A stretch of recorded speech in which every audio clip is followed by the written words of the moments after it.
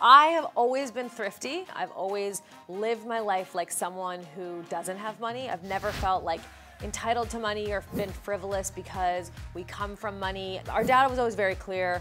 He would say, I'm rich, you're not. Verbatim, he would say that. We, from the very beginning, were told you do not have a trust fund. You are not coming into money. You're not getting some big allowance. You'll always have a roof over your head. You'll always eat. But short of that, I don't know what to tell you. You're gonna have to provide a life for yourself. And knowing that, you just, you work harder.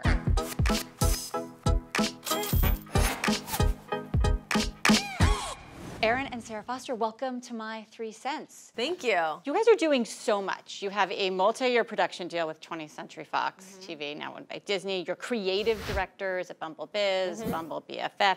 Okay, let's stir up some sibling rivalry. Okay. Which one of you works harder? I actually have to say Sarah on this one. See, and I say you. Oh, And you can tell me why I work harder, and then I'll tell you why you work harder. Oh, okay.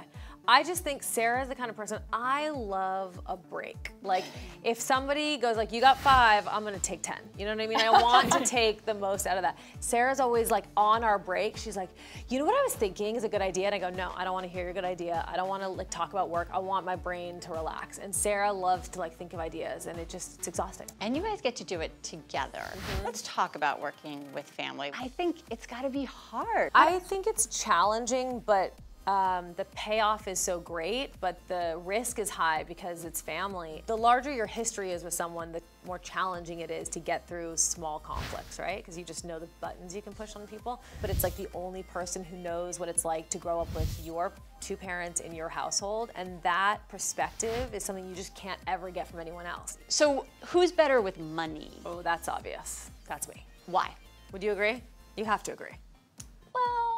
You know, we gotta spend it to make it. I have always been thrifty. I've always been frugal. I've always been careful with money. From the time I was like 14, I had jobs because I wanted to have money and not have to ask for money. How can she be so thrifty? And Well, first of you're all, not. I'm not, you know, I I don't go Let's- on like this is a good time to be really honest with Yeah, yourself. no, let's I be, know. Let's be real. But you know what? Here's my problem. I don't walk into a store and buy, see like a $10,000 bag and buy it. I just buy a lot of little Mm-hmm. things. But I'm saving. I'm getting better at saving. Let's get to some of your guys, um, your deals. First of all, this uh, production deal that you have. There are so many streaming options coming out. Um, you know, we've got Disney Plus and Apple Plus. Would you guys think anybody can dethrone Netflix? Yes. Yes.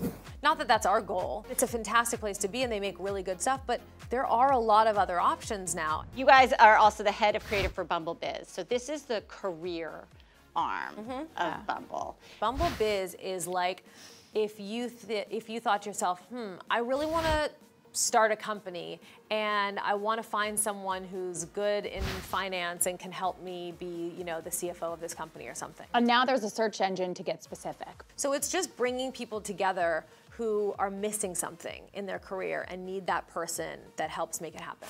You guys also are investors and advisors in a number of companies. We invest in female founded companies so far. Uh, we don't say it's like a rule, but so far it's felt good to do that. We're always looking for ways for someone who's disrupting a certain space and is a female that we're impressed with. So we're learning a lot about investing and we're learning about who you can trust and what's going to work. And It's definitely new feels good. territory for us. You know, It is, it's yeah.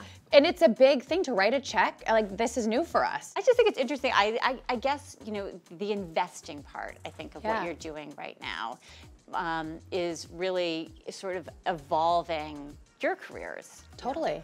it is. We're getting asked to speak at tech conferences. We're like, wait, you want us? Are you sure? But you're in a bunch of hot investments Yeah. that people are excited about. Um, aside from the private market, do you invest at all in the stock market? Never done that. Never. I actually have Disney stock that I got when I was five. Uh huh.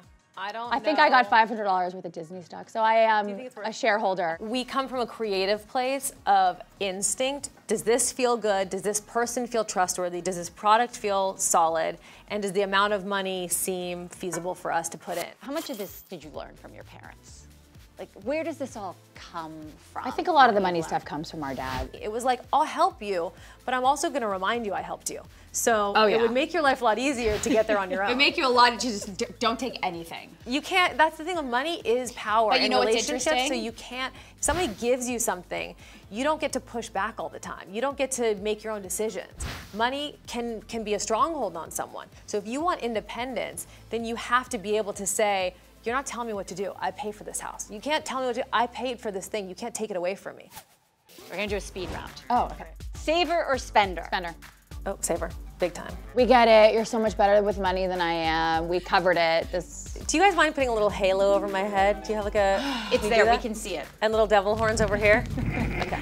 Cash or credit? Credit. credit. Okay, if you could design a new $1 bill, who would you put on it? Mm. Michelle Obama. Oh. We've, that's, we've had that one before. You have. Interesting. Oh, I love her so much. Um, Cardi B. She has that song Money. Yeah, I think she'd be a great addition to the dollar sign. What did you do with your first growing up paycheck? Oh, I put a jacket on layaway. I remember it so clearly, and when, by the time I got it six months later, I hated it. Of course, you put a jacket on layaway. I got a new car. Wait, was your paycheck a lot bigger? This girl loves No, I put a down payment on a lease for a Chevy Denali. And I couldn't afford it, so it was the down payment not to buy it, but to lease it. Did you guys get an allowance as a kid? Yes. Did we? Do you remember like how much it was? Uh, it was like embarrassing. It was like hundred dollars a week, and I remember Wait, saying what? I don't remember that. We had different childhoods. We like forget and remember different things. I didn't but come I remember, for the allowance because I was gone all the time. I remember saying to my mom like, I don't have anything to spend this money on because I'm like 14 and I don't know where to go or what to do. I have nothing to spend money. The internet was not a thing. You couldn't shop online or anything. And I was like, you should be giving us like $40 a week because I don't know what to do with this. She's like, oh, okay, thanks. Oh my God. Did your stepmom, Katharine McPhee, give you an allowance? Uh, you know what? We should ask for some. I'm ready for an adult allowance. I I mean, am so many too. adult kids get like crazy allowances. I Like, would love. on- Here's the thing about She probably Catherine. would. She would say yes. She's would. really good like that. Do you guys like do you carry cash with you at all? Erin has her assistant get her cash. 20. Twenty dollar bill. Okay, so you, you know Let me like see. Hold on, cash I might have a dollar. But you know what I do have, you guys, in here? This is how upset. I brought with me residual checks Oh my god. to cash, $17. Oh my gosh. If you could take over any company for one day, which company? Is the country a business? Could I take over that office for a day? Because I would do a lot of different things with it. You can take it over. Maybe for a day. Amazon. I have some thoughts. On improving Amazon. Later, Jeff. Okay, what is the biggest money mistake you've made? I didn't always listen to my dad's advice of, of really mentally wrapping your head around your paycheck is really only half. And I've gotten to tax time before where I don't have enough to pay my taxes. What is the most important thing someone taught you about money? I think the most important thing uh, that our dad always taught us was there will be a point in your life where you realize how important it is to give back. And you need to find the thing that you really care about and focus on giving back more than you're focusing on making. I think you both nailed it. Thank you.